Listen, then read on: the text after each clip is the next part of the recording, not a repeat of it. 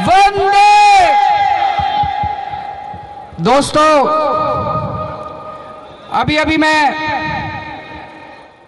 ये कूड़े का पहाड़ देख के आ रहा हूँ। बहुत शर्म आती है। दिल्ली देश की राजधानी है। पूरी दुनिया भर से लोग दिल्ली में आते हैं। और जब दिल्ली में आते हैं तो क्या देखते हैं? कूड़े का पहाड़ देखते हैं।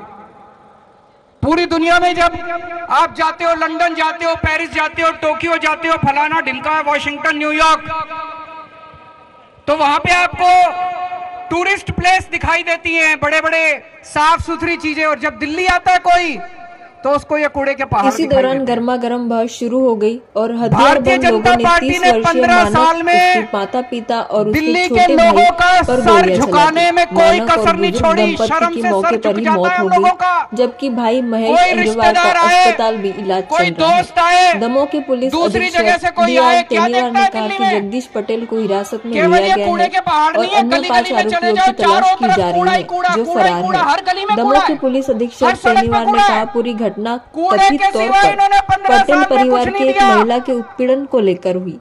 महेश अहिरवार की शिकायत के आधार पर हत्या आज जब मैं आ रहा था, अनुसूचित जाति तो और जनजाति के खिलाफ अपराधों को दंडित करने के लिए कड़े कानून के प्रावधानों के तहत मामला दर्ज गया साल है। की इस घटना से मध्य तो प्रदेश में दलितों की सुरक्षा को लेकर इलाके में विरोध प्रदर्शन तेज हो गया है। राज्य कांग्रेस प्रमुख कमलनाथ ने कहा कि दलित व्यक्ति और उसके माता पिता की हत्या की उच्च स्तरीय जाँच शुरू की जानी चाहिए। बहुजन समाज पार्टी सुप्रीमो मायावती ने भी आरोपियों के खिलाफ हमारे स्कूल देखो हमारे अस्पताल देखो। दिल्ली में अमेरिका के राष्ट्रपति आए उनकी बीवी हमारा स्कूल देखने गई। भारत का नाम चौड़ा हुआ भारत का सीना चौड़ा हो गया लोगों का सीना चौड़ा हो गया। हमें शर्म नहीं आती अपने काम दिखाने में इनको शर्म आती है। तो इन्होंने क्या करा? कूड़े के पहाड़ के चारों तरफ़ पुलिस लगा दी। कोई कूड़े का पहाड़ देखने नहीं। इनसे बहु बेटियों की रक्षा नहीं होती कूड़े के पहाड़ की रक्षा कर रहे हैं। आप पुलिस लगा के ये लोग। इनसे इनसे माँ बहनों की इज़्ज़त नहीं बचाई जाती कूड़े के पहाड़ की रक्षा कर रहे अरे शर्म कर लो यार तुम लोग। दिल्ली के लोगों का शर्म से सर झुक जाता है। जब कोई दिल्ली में आके घूमता और कहता है यार दिल्ली बड़ी गंदी है दिल्ली बड़ी गंदी है। ये ये लोग कहते हैं अभी इनके बहुत मन, बड़े मंत्री आए। अमित शाह जी आए अभी दस पंद्रह दिन पहले। खूब गालियाँ देके गए मेरे को। केजरीवाल पैसे नहीं देता, केजरीवाल पैसे नहीं देता। हाय रे, दे दो रे, पैसे रे, मर गया रे, पैसे रे। पैसे पैसे पैसे पैसे पैसे पैसे, बस पैसे मांगते रहते हैं ये।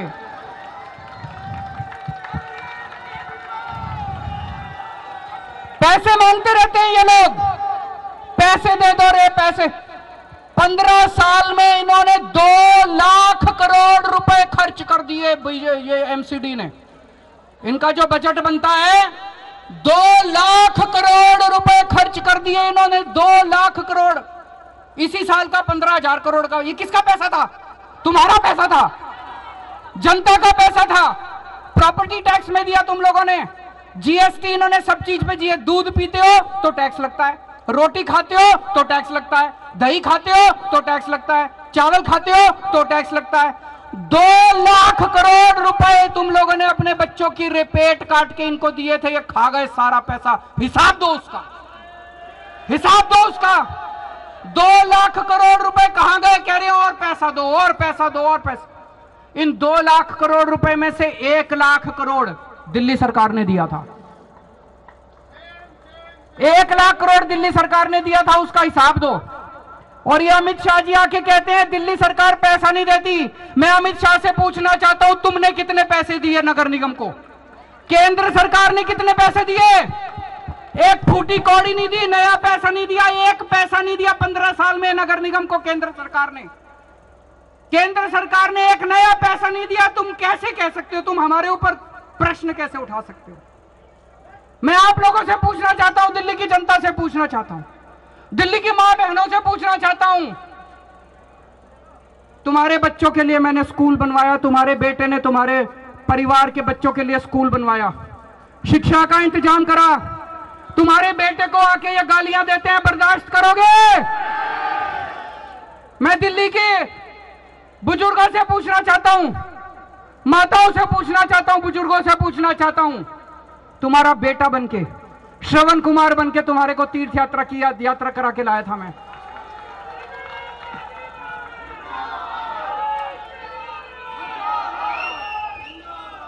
आज ये आज ये तुम्हारे बेटे को गंदी गंदी गालियाँ दे रहे हैं। मैं दिल्ली की माँ बहनों से, माताओं से, बुज़ुर्गों से पूछना चाहता हूँ, बर्दाश्त करोगे? इस बार दिल्ली की सफ़ाई के ऊपर चुनाव होगा। दिल्ली के दो करोड़ लोगों को इकट्ठा होना है। सारे जने इकट्ठे हो जाओ। सारे जने और जितने बीजेपी वाले हैं एक एक घर जाना बीजेपी वालों के। उनका दिल जीत के आना है। उनसे लड़ाई नहीं करनी। दिल्ली के अंदर एक भी बीजेपी वाला नहीं रहेगा, सबका दिल जीतेंगे। हर एक का दिल जीतना है। लड़ाई नहीं करनी।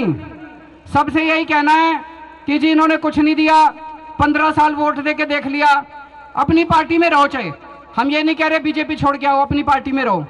लेकिन एक बार केजरीवाल को मौका दे के देखो। एक बार केजरीवाल को मौका देके देखो, दिल्ली की सफ़ाई ना करें। पाँच साल में हम दिल्ली साफ़ नहीं करें, हमें अगली बार वोट मत देना। पाँच साल में दिल्ली साफ़ नहीं करें, हमें वोट मत देना। और उन्होंने पूरी कोशिश करी। ये जितनी राक्षसी शक्तियाँ हैं, असुरी शक्तियाँ, ये सारी इकट्ठी हो गई हमारे खिलाफ। इन्होंने पूरी कोशिश करी। पंजाब के बाद जब दिल्ली नगर निगम के चुनाव होने थे, इन्होंने चुनाव टाल दिए। कानून ले आए। नगर निगम को एक करेंगे, हमने कहा कर लो जी। फिर अब इन्होंने डिलिमिटेशन करी है। बता रहे हैं, सारे बीजेपी के बीजेपी के एरिया इकट्ठे कर दिए। आम आदमी पार्टी के एरिया अलग कर दिए। इनको लगता है इनको सीटें आ जाएँगी। अरे इस बार तुम्हारे बीजेपी वाले भी तुमको वोट नहीं देने वाले।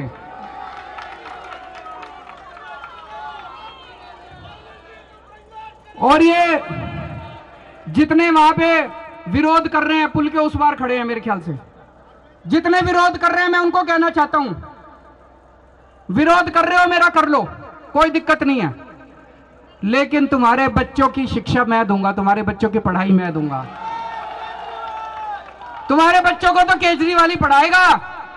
तुम्हारे घर में कोई बीमार हुआ, कल को तुम्हारे घर में कोई बीमार हुआ कोई बीजेपी वाला पूछने नहीं आएगा, केजरीवाल तुम्हारी दवादारों का इंतज़ाम करेगा। मेरे को गाली देनी है ना, दे लो। लेकिन एक दिन ज़रूर आएगा जब ये सारे बीजेपी वाले आम आदमी पार्टी में शामिल होंगे। एक दिन ज़रूर आएगा जब संबित पात्रा भी कहेगा, भाई, बीजेपी तो बहुत गंदी पार्टी है, आम आदमी पार्टी अच्छी पार्टी है।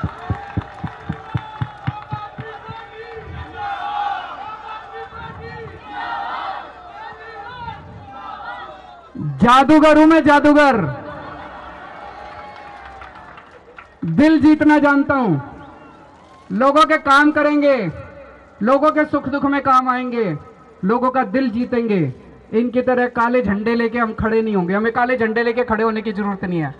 हम पुण्य कमाते हैं, हम लोगों का दिल जीतते हैं। पाँच साल पहले जब दिल्ली के अंदर हम पूरा पहला चुनाव लड़े थे, सात साल पहले। लोग कहते थे, बीजेपी के इतने वोट बीजेपी के। आज धीरे धीरे धीरे धीरे करके हमने सबका दिल जीत लिया एक एक करके सबका दिल जीत लिया। कांग्रेस तो ज़ीरो हो गई, और वो दिन दूर नहीं है जब बीजेपी भी ज़ीरो हो जाएगी दिल्ली के अंदर। आज आप, ये कूड़े का पहाड़ जो है, बड़ी शर्म आती है। बड़ी शर्म आती है इस कूड़े के पहाड़ से। आज हमें कसम खा के जानी है, दिल्ली के दो करोड़ लोग कसम खाएँगे कि आने वाले एमसीडी के चुनाव के अंदर हम पार्टीबाजी भूल जाएँगे, कौन किस पार्टी से भूल जाओ। एक मौका सारे जने दिल्ली के लिए, देश के लिए, दिल्ली की सफ़ाई के लिए, दिल्ली को कूड़ा मुक्त करने के लिए वोट देंगे। और अभी ये इन्होंने प्लानिंग करी है, सोलह कूड़े के पहाड़ और बना रहे हैं ये। ये जो कूड़े का पहाड़ है ना ये, अब बता रहे अनस्टेबल हो गया। इसके ऊपर और कूड़ा नहीं जा सकता। अगर और कूड़ा डालेंगे तो ये कोलैप्स हो जाएगा। इसलिए अब यहाँ नया कूड़ा नहीं डाल सकते। तो दिल्ली में जगह जगह जगह जगह, सोलह जगह इन्होंने प्लानिंग करी है कूड़े का पहाड़ बनाने की। तो ये कोई बीजेपी वाला हो, उसको बोल देना कि कल को तेरे घर के बगल में कूड़े का पहाड़ बन गया, तब पता चलेगा बीजेपी कैसे पार्टी है। भारत माता की